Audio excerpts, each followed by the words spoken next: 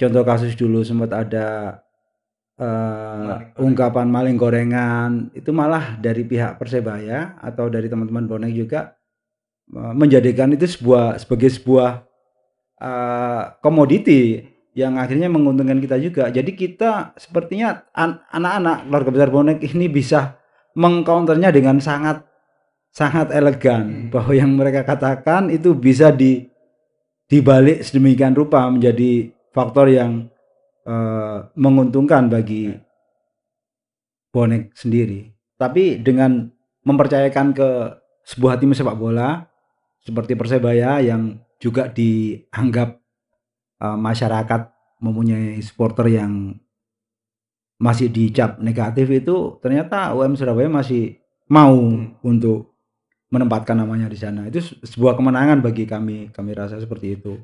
Assalamualaikum warahmatullahi wabarakatuh. Salam satu nyali. Wani. Wani. Uh, kembali lagi bersama saya Rivi Alawi di program Green Voice episode yang kedua. Kali ini saya bersama Cak Tulus. Selamat datang Cak Tulus di Universitas Muhammadiyah Surabaya.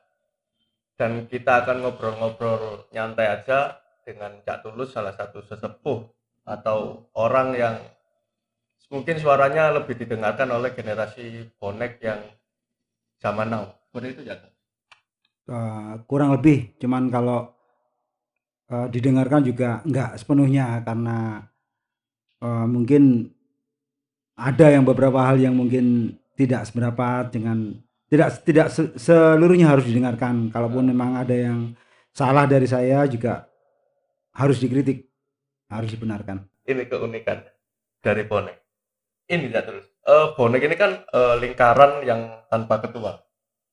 Meskipun tanpa ketua tapi sebenarnya apa sih yang membuat bonek itu kok dalam tanda kutip itu awet dan tetap eksis seperti sekarang?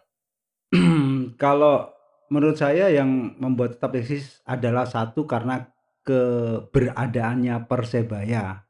Itu yang menyatukan uh, supporter yang kemudian diberi julukan bonek.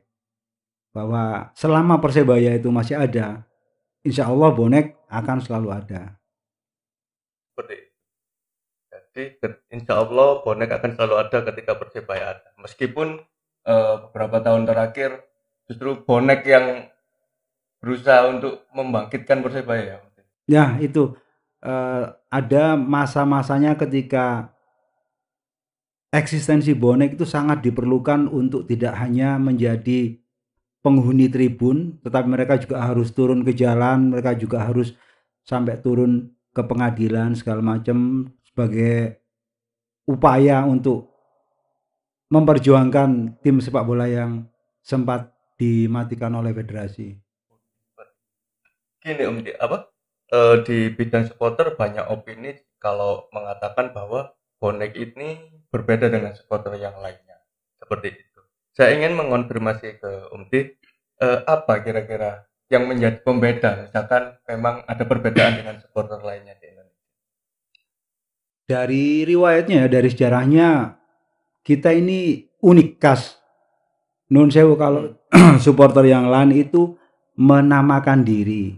Tapi kalau bonek ini dinamakan. Jadi kita tidak menamakan diri. Pada waktu itu kita pihak lain uh, Jawa Pos kalau tidak salah waktu, itu memberikan julukan Bondo Nekat dan akhirnya nama itu melekat ke supporternya Persebaya sampai sekarang.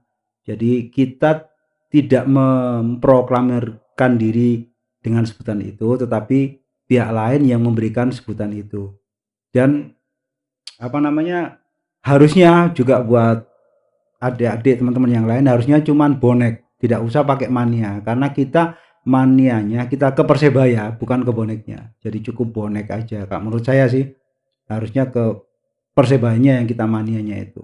Nah, kita adalah bonek ada bonek dan nekat. yang mungkin bisa kita pertimbangkan dari Om bahwa kalau bisa bonek saja tanpa mania karena sesungguhnya kita adalah persebaya mania. Persebaya mania. Kita nah, manianya ke persebaya. gini, kira-kira dari bonek sendiri apa yang menjadi landasan karakter sehingga terbentuk bonek uh, secara komprehensif.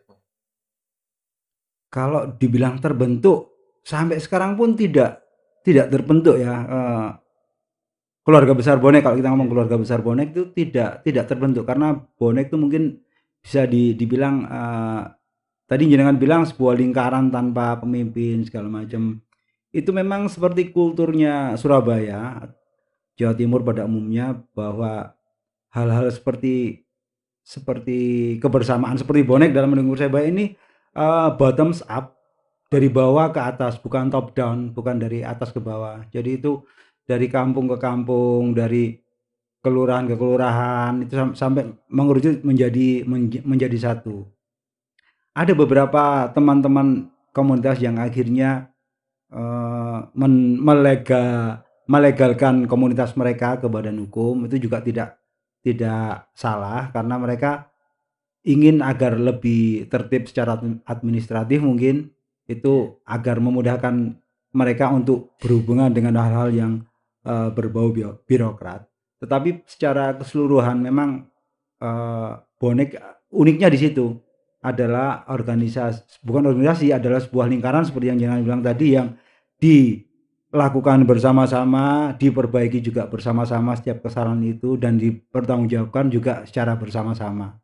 Saya contohkan bahwa kebanyakan informal leader di keluarga besar bonek kalau zamannya Cak Dul dulu itu istilahnya adalah kepala suku. Kepala suku. Kepala suku itu benar-benar dari bawah.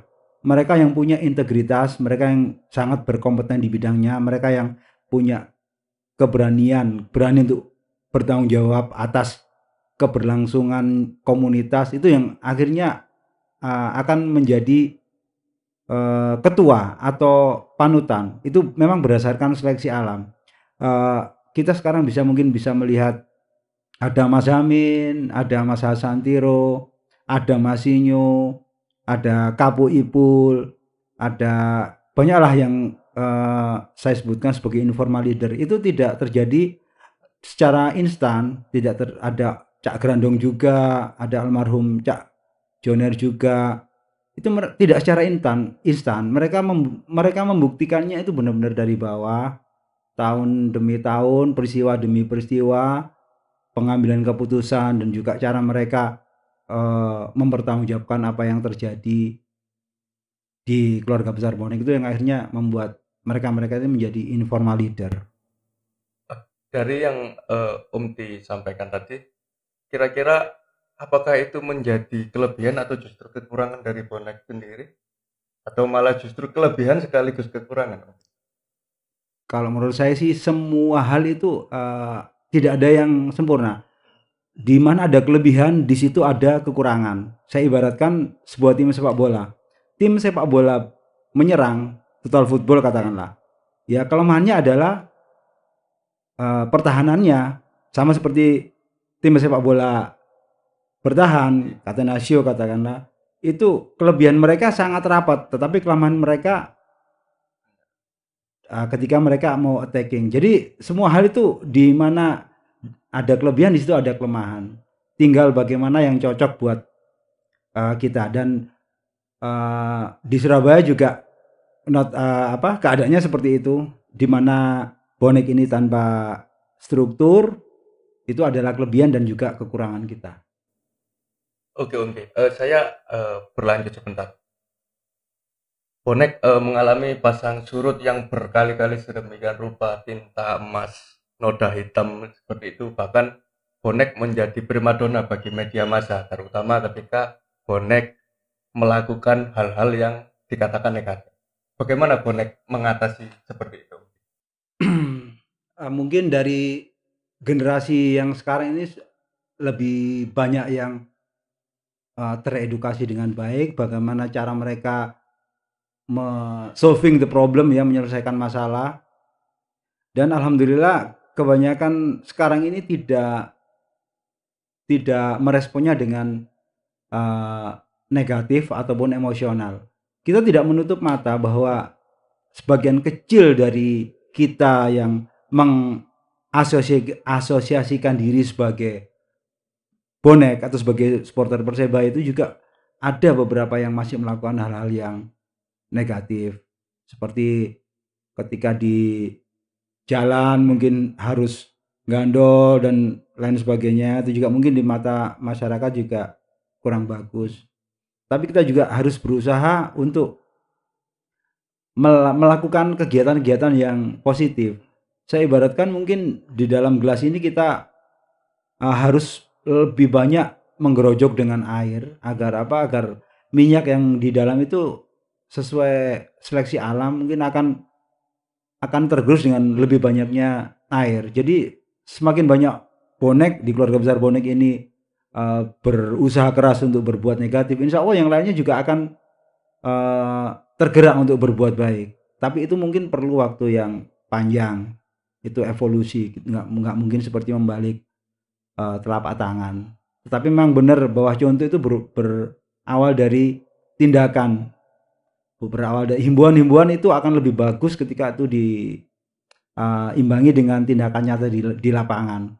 Bahwa semakin banyak teman-teman uh, adik-adik keluarga saya yang di Bonek ini berbuat baik, yang lainnya juga akan tergerak untuk berbuat baik. Ibarat kata kita kumpul sama tukang parfum juga, walaupun nggak beli parfum kita juga kena ambu-ambune parfum rotok wangi. Seperti itu mungkin. Begitupun sebaliknya. Begitupun juga sebaliknya, benar. Uh, sebagai lingkaran tanpa ketua, ketika bonek di apa ya, di labelize di labelize ya di labelize ya, uh di labelisasi ya di labelize oleh media bahkan oleh dalam tanda anu rival seperti Teko Alek dan lain sebagainya bagaimana uh, model bonek untuk uh, mengcounter hal itu. Nah ini juga saya juga kadang uh, merasa apa ya merasa lucu dan juga bingung dengan keluarga besar saya ini. Keluarga besar saya ini uh, ketika pihak lain menertawakan itu kita sebenarnya sudah bisa menertawakan diri kita sendiri. Jadi seperti contoh kasus dulu sempat ada uh, ungkapan maling gorengan itu malah dari pihak persebaya atau dari teman-teman bonek juga uh, menjadikan itu sebuah sebagai sebuah uh, komoditi yang akhirnya menguntungkan kita juga. Jadi kita sepertinya anak-anak keluarga besar bonek ini bisa mengcounternya dengan sangat sangat elegan hmm. bahwa yang mereka katakan itu bisa di dibalik sedemikian rupa menjadi faktor yang uh, menguntungkan bagi bonek sendiri. Dan itu memang sudah seperti menjadi budaya baru bonek ya untuk mengcounter hal-hal itu dengan tidak terlalu serius malah dibalik dengan cara-cara yang yang elegan itu. Elegan tadi. Yeah. Aku gini sebenarnya bonek ini miliknya siapa kah? Bonek itu ya miliknya semua orang yang merasa uh, senasib sepenanggungan sebagai sama-sama yang mengikat kita adalah persebaya. Selama persebaya itu ada, selama itu juga uh, bonek akan tetap ada dan bonek adalah milik mereka-mereka yang di dalam hatinya itu bersemayam uh, rasa yang besar untuk mendukung Persebaya, rasa yang sangat besar untuk menjadi manusia yang lebih baik. Ingat ketika bonek uh, banyak di label labelize sebagai apa namanya kaum kaum yang uh, uh, hal-hal yang negatif negatif lah. Itu adalah sebuah uh, tantangan besar bagi siapa pun yang merasa dirinya supporter persebaya mengasosiasikan dirinya sebagai anak yang uh, wani wani untuk mendukung persebaya wani untuk uh, melakukan hal, hal yang baik. Ini tantangan besar untuk menjadikan keluarga besar ini menjadi kelompok yang lebih baik dari hari ke hari. Jadi saya saya ingat mungkin satu dasar warsa 10 tahun yang lalu ya 2010 tim ini mengalami goncangan. Di ISL terakhir juga uh, waktu itu tidak bagus posisinya. Kemudian beberapa hal yang terjadi di dunia sepak bola Indonesia akhirnya kita juga menjadi uh, pembangkang, pembangkang untuk tidak mengikuti kompetisinya PSSI waktu itu terus kemudian di sana sini kita sebagai kelompok supporter uh, banyak mengalami penolakan untuk datang ke berbagai tempat karena hal-hal yang negatif yang dilakukan oleh segelintir orang. Tapi kemudian seiring berjalannya waktu ini sat- satu satu dekade kemudian 10 tahun kemudian ini sekarang 2020 alhamdulillah sudah sudah banyak tempat yang eh, mempersilahkan kita datang. Karena dalam kurun waktu itu kita juga eh, hari demi hari waktu demi, demi waktu itu berusaha untuk memperbaiki apa yang salah pada waktu itu. Mencoba lagi menjalin komunitas membuka silaturahmi dengan semua pihak agar eh, bisa enak bisa menguntungkan semua pihak dan tidak ada pihak yang dirugikan dalam eh, dunia sepak bola khususnya di dunia supporter seperti itu Iya. Dik. Kalau berbicara kuantitas, bonek eh, tidak bisa diragukan. Namun ketika kita membaliknya menjadi pembicaraan kualitas, apakah yang punya tanggung jawab untuk menjaga kualitas bonek itu apakah bonek sendiri? Apakah mereka yang mengaku merasa memiliki ikatan emosional dengan bonek atau justru memang semua saling menjaga kualitas satu sama lain? Nah, iya, kalau itu saya ibaratkan quality control ya. Semua orang punya tanggung jawab eh, berdasarkan kapasitasnya Hmm. untuk menjadikan keluarga besar ini lebih baik.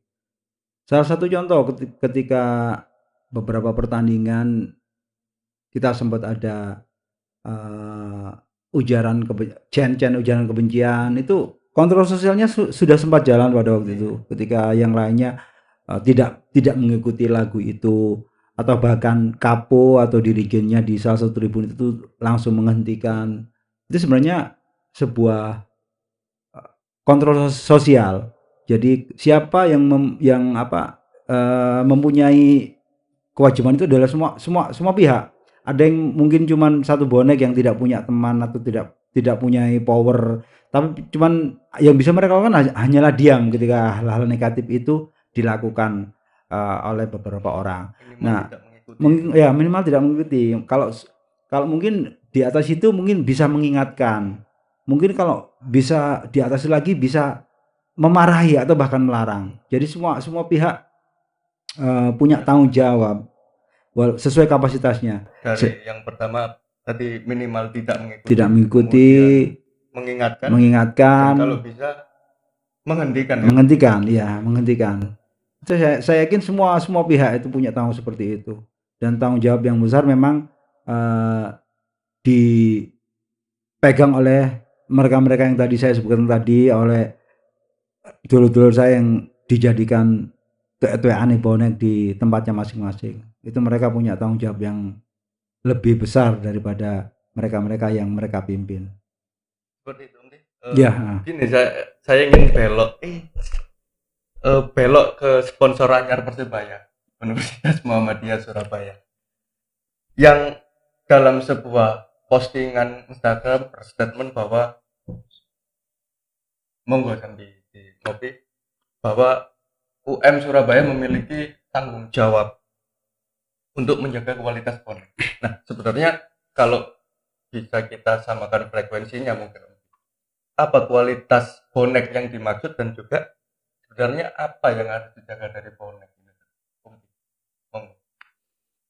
Pertama saya ucapkan terima kasih kepada UM Surabaya sudah memberikan uh, kepercayaan ini kepada tim kebanggaan kami, tim Persebaya Surabaya. Ini sebenar- sebenarnya adalah sebuah apa sebuah uh, kemenangan, kemenangan yang saya saya bilang itu kemenangan karena karena apa? Karena se- sebuah institusi akademis uh, Universitas Muhammadiyah itu uh, mau me- menempatkan namanya di jersinya Persebaya mau mens- mensponsori Persebaya katakanlah itu sebagai sebuah eh, kemenangan bagi kami bahwa Persebaya ini di saya apa saya kira Persebaya ini dirasa oleh pihak Universitas Muhammadiyah Surabaya layak untuk men, untuk apa untuk untuk menjadi tempat yang baik agar orang juga paham keberadaannya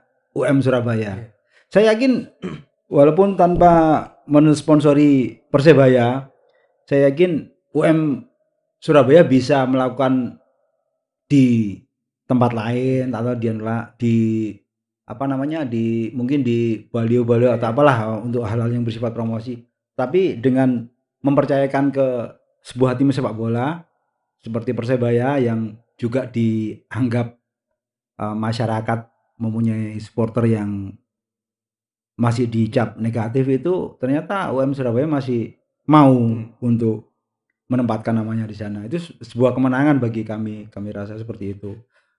Terus Ter- kalau masalah apa tadi tang Eh, kontrol tanggung jawab kualitas dari bonek kemudian seharusnya apa yang dijaga seperti itu itu juga apa namanya kalau jaga ini kita kembalikanlah sebagai uh, bonek adalah bagian dari masyarakat Surabaya bonek juga bagian dari uh, warga negara Indonesia. Iya.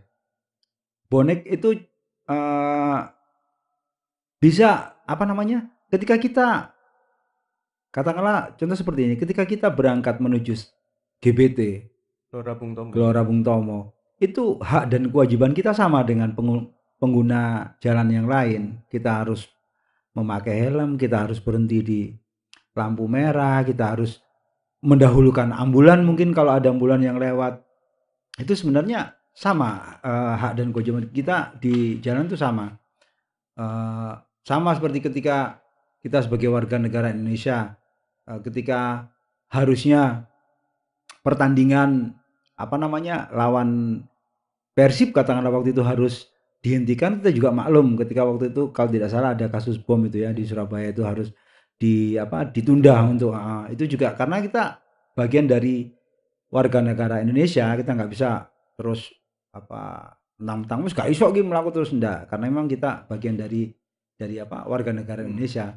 Nah yang yang harus yang harus apa yang harus dipertahankan ya itu tadi menjadi menjadi insan yang lebih baik menjadi manusia yang, yang lebih baik menjadi warga negara yang memang lebih baik menjadi bagian dari warga Surabaya yang yang lebih baik. Jangan mentang-mentang ojo dumeh merasa bonek terus pas match day hari pertandingan kita karpe dhewe nang embong. Itu juga akan eh, menimbulkan dampak yang ti- tidak bagus bagi warga negara eh warga Surabaya yang lain yang sama-sama menggunakan jalan itu. Kalau kita bisa sama-sama share sharing share the road berbagi jalan untuk mereka untuk orang-orang yang pulang pergi di jalan itu kita akan banyak mendapatkan simpati. Bahwa saya yakin juga mereka yang tidak menggunakan kaos Persebaya ketika hari pertandingan itu juga sebagian besar juga bonek, cuman mereka tidak diberi eh, tidak diberi rezeki untuk menonton Persebaya pada waktu itu. Itu aja. Jadi kalau kita merasa kita bagian dari warga Surabaya, kita juga harus berlaku sebagai bagian dari warga Surabaya bahwa eh, contoh kecil di jalan tadi kita anggap mereka semua yang di jalan itu sama-sama boneknya. Cuman kita yang punya kesempatan lebih untuk nonton langsung, mereka juga eh, mungkin tidak punya kesempatan untuk itu karena hal-hal lain dan sebagainya. Iya, Om. Eh, tentang kerjasama ini, menurut Om T, eh, seberapa besar sih dampaknya untuk UM Surabaya, Bonek, dan tentu untuk Persebaya itu sendiri?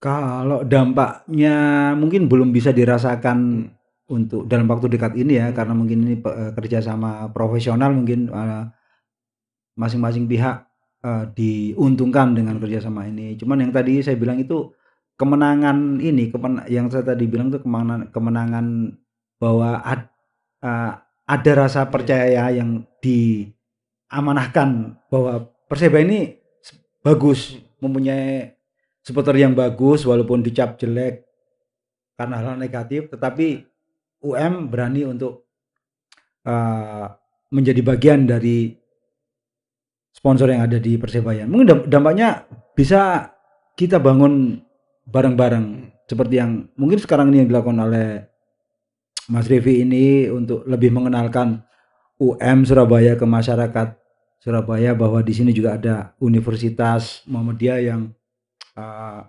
qualify yang bagus untuk anak-anak yang setelah lulus SMA.